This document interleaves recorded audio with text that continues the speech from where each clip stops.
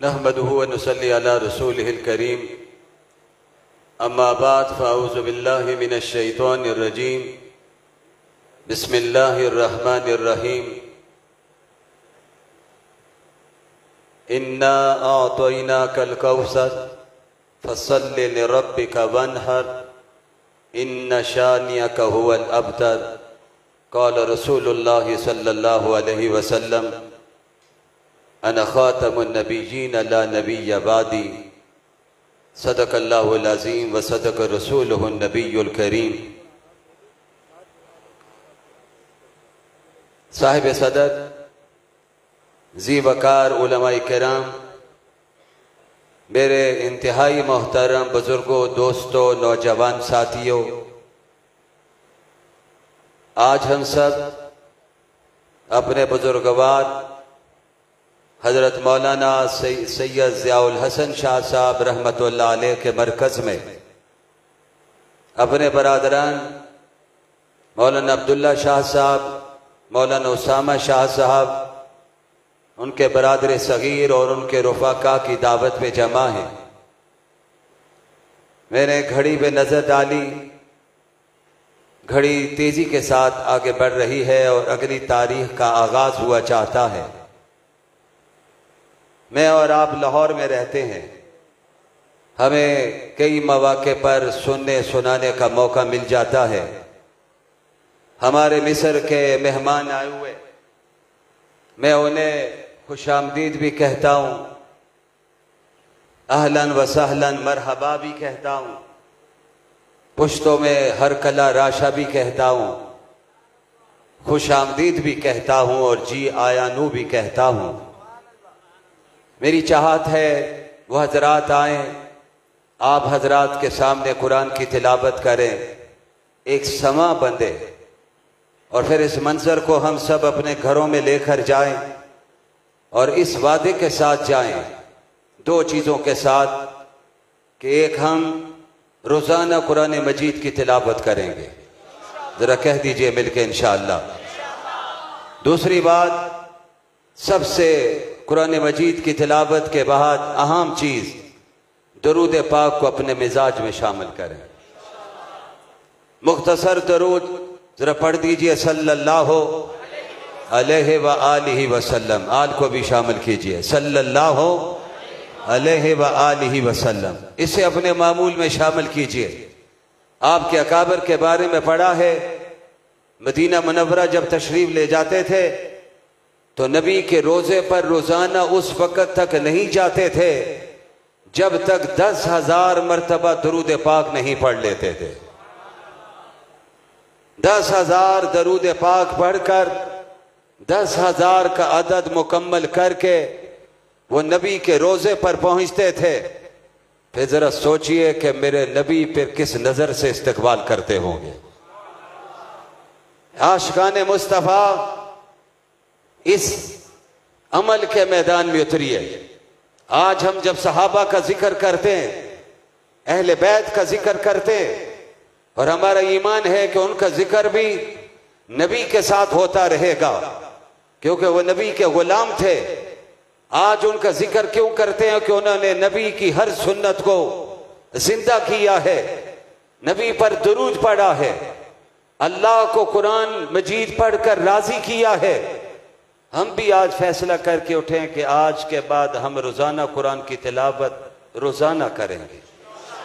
जरा आवाज़ आनी चाहिए इनशाला दुरुद पाक के हवाले से हमारे अकाबरीन कहते हैं कि कम अज कम रोज़ाना पाँच सौ मरतबा दरुद पाक पढ़ना चाहिए। मुख्तसर दरू सल्लल्लाहु अलैहि वसल्लम, अगर पाँच तस्वीर पढ़ें तो मेरे ख्याल में सात आठ मिनट लगेंगे। रोज़ाना आपकी हाजिरी लगेगी। और हदीस में आता है, जब फरिश्ते अल्लाह के पाक, नबी के पास दरूद लेकर पहुँचते हैं, दरूद पढ़ने वाले के बाप का नाम भी नबी के सामने लिया जाता है। और नबी रहमत ने फरमाया, जो दुनिया में दरूद मुझ पर माफिल है, ज़िक्र हबीब मुस्तफ़ा, ज़िक्र हबीब खुदा। फरमाया, जो दरूद मुझ पर कसरत से पढ़ेगा, कल अल्लाह उसे माशर के मैदान में मेरे साथ ला के खड़ा कर देंगे। और एक रवायत में फरमाया कि दरूद पढ़ने वाले को अर्श का साया मिल जाएगा। हज़रत मोहतरम, मैं बहरहाल अपने बरदरम, मौलाना अब्दुल्ला शाह साहब के हुक्म पर सिर्फ़ आपके सामने हाजिरी दे रहा हूँ। उधार से ही फिर इंशाला किसी मौके पर उधार उतारेंगे।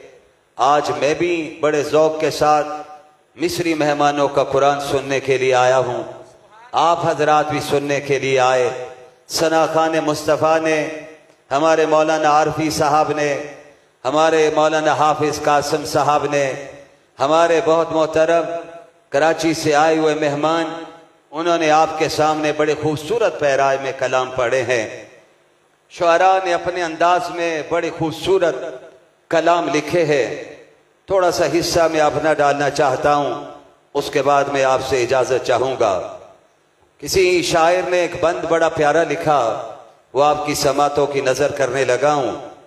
वो फरमाते, अजल से हक ताला ने अब अब तक जो पैदा किया, मोहम्मद सल्लल्लाहु अलैहि वसल्लम, इब्तदा ठहरे, मोहम्मद इंतहा ठहरे।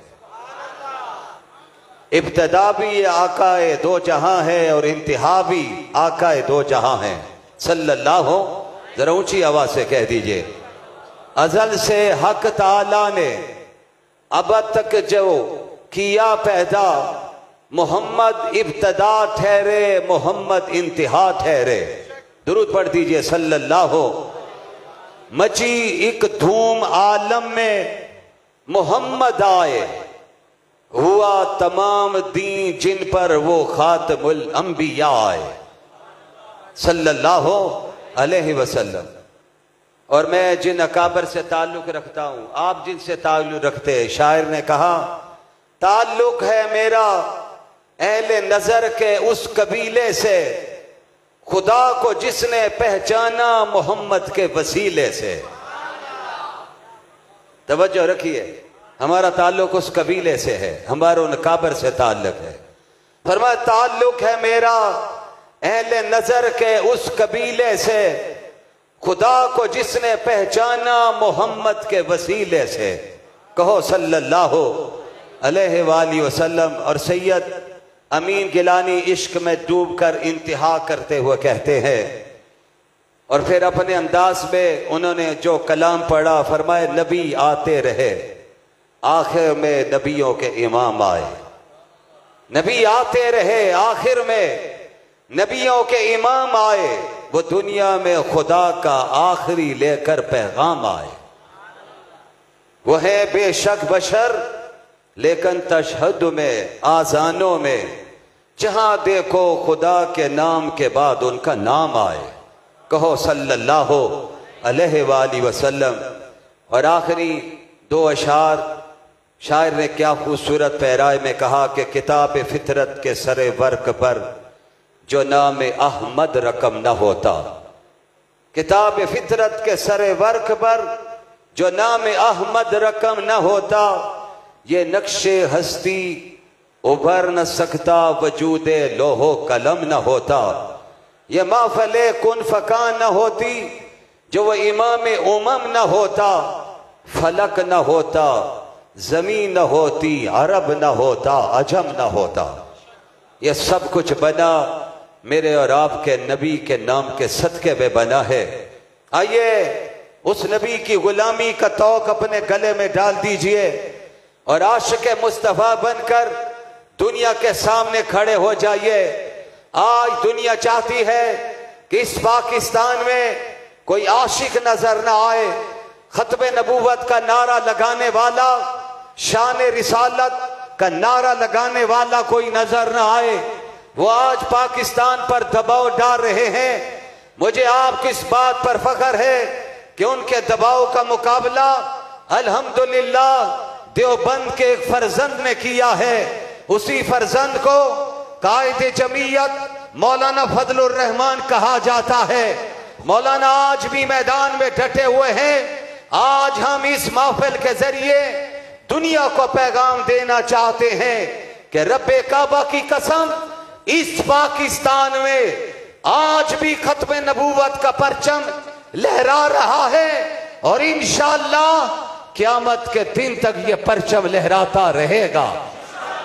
जवाब जरा मुजाहिदों की तरह चाहिए। मिलकर जरा कह दीजिए मुजाहिदों की तरह इंशाला कराची में रैली थी। उस रैली से एक दिन पहले मेरे और आपके काय मदीना मनवरा से कराची पहुँचे। उस दौर में यूसुफ रजा गिलानी के दौर में साजिश की गई। कि नामू से रिसालत के कानून को तब्दील कर दिया जाए। मेरे कायद ने कराची की रैली में कहा, और सुनो अमेरिका के गुलामों, यूरोप के गुलामों, अगर तुमने अमेरिका से वफा की कसम उठाई है तो गुजश्ता से पेवस्ता रात में नबी के रोज़े के सामने खड़े होकर मैंने भी कसम उठाई तुम अमेरिका को खुश करना चाहते हो हम आमना के लाल को खुश करना चाहते हैं। तुम्हें अमेरिका की गुलामी पे नाज, हमें आमना की लाल की गुलामी पे नाज। और मुझे कहने दीजिए, तेरी जुदा पसंद, मेरी जुदा पसंद, तुझको खुद ही पसंद, मुझको खुदा पसंद। अल्लाह के फजल से आज पाकिस्तान में बड़ी साजिशें हुई, दुनिया ने देखा है, लेकिन वो साजिशें नाकाम हुई है। और इंशाला वो साजिशें नाकाम होती रहेगी। परचम खत्म नबूवत लहराता रहेगा। मौलाना यूसुफ बिन नौरी के मानने वाले, सैयद अताउल्ला शाह बुखारी के मानने वाले, मौलाना अहमद अली लाहौरी के मानने वाले, मौलाना मुफ्ती महमूद, मौलाना गुलाम गौस हजारवी, मौलाना अब्दुल हक के मानने वाले, देवबंद वालों फखर से कहा करो, हम देवबंद कबीले से ताल्लुक रखते हैं। देवबंदियत ने झुकना नहीं सीखा, बिकना नहीं सीखा। ये पगड़ी हमारे सरों पे सजी, इस पगड़ी ने कुफर के सामने गर्दन उठाकर सिखाया है। और इंशाजीज इंशाला सुम इंशाला आइए इस कॉन्फ्रेंस में आप ऐलान करके जाइए। हम ज़िंदगी की आखिरी सांस तक खत्म नबूवत का परचम उठाकर रखेंगे। हाथ लहरा के कहो इंशाला ये परचम हम सिर्फ़ उठाएँगे नहीं, अगली बात भी सुनिए। हम इस परचम को अगली नस्ल को मुंतकिल करेंगे। अल्लाह रबुल इज़्ज़त हमारे इन बरादरान को और ज़्यादा हिम्मत दे। और आज की सारी तकरीब का सवाब हज़रत मौलाना सैयद जियाउल हसन शाह साहब रहीमहुल्लाह की रूह पर फतू को पहुँचाए, उनके दर्जात को बुलंद फरमाए, इस मरकज को अल्लाह क्यामत के दिन तक आबाद रखे। अल्लाह इसे मजीद वसत नसीब फरमाए, मतालिब है बहुत, वक्त दुआ कुछ कह नहीं सकता। इलाही फजल कर, इसके सिवा कुछ कह नहीं सकता। इलाही तड़पने, फड़कने की तोफीक दे, दिले मुर्तजा सोजे सिद्दीक दे। अब तो चलते हैं मैं कदा से मीर फिर मिलेंगे अगर खुदा लाया। वाखिर दावाना अनिलहमदुल्ला रबिल